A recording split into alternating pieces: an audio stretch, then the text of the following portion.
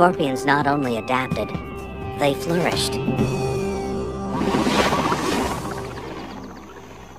As the Earth cooled, they found niches to exploit. Eons passed, continents shifted, civilizations rose and fell. In the 21st century, scorpions crawl the Earth unscathed. They are living fossils, unaffected and oblivious to change. And as air conditioning now allows humans to build their homes in deserts and jungles, encounters with scorpions will only increase. Living together safely depends on understanding the habits of these remarkable animals.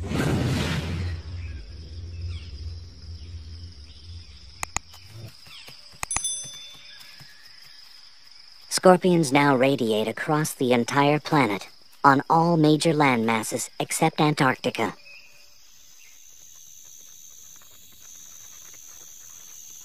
More than 2,000 different species have evolved to accommodate wildly differing habitats. From rainforests to mountaintops to sun-baked deserts, they've got what it takes to survive in the most severe and extreme environments.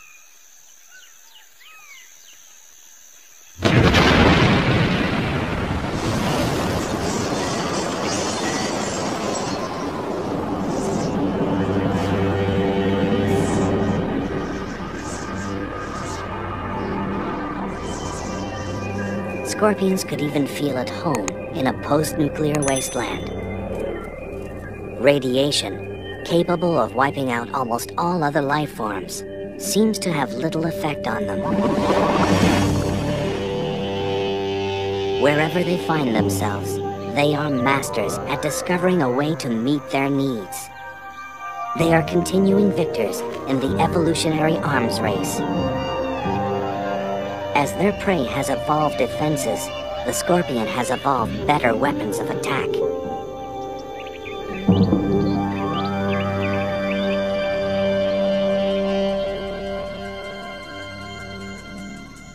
Walking across the sands of southeastern Arizona, the giant desert hairy scorpion.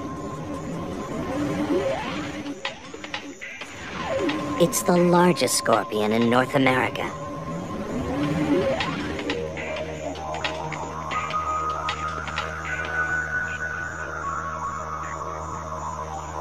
In this arid environment, the desert hairy searches for its prey. Small lizards, crickets, even the tarantula.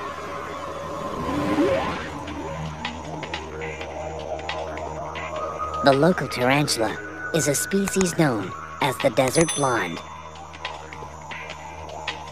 A tarantula's eyesight is rudimentary, not nearly keen enough to spot the partially concealed scorpion.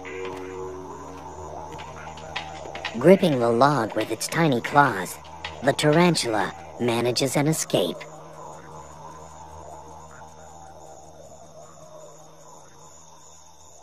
It's a warm, windless night.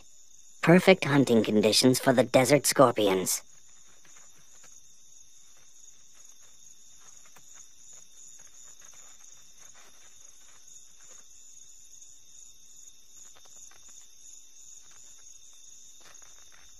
But for this tarantula, it's like navigating a minefield. On a night like this, its only hope is to find refuge in a burrow of its own.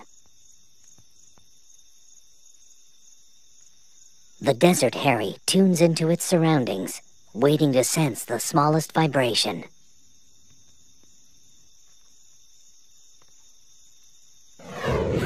A slight motion behind it prompts an attack.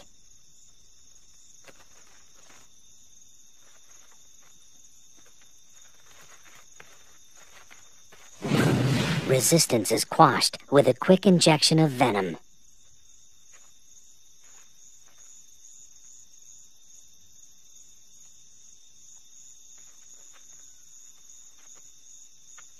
The scorpion maneuvers the tarantula to consume it head first.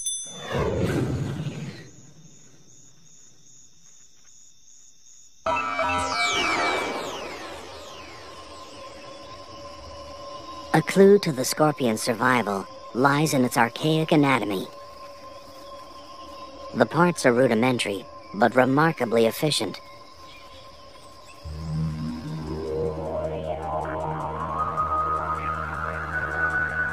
Ancient fossils show that little has changed for hundreds of millions of years.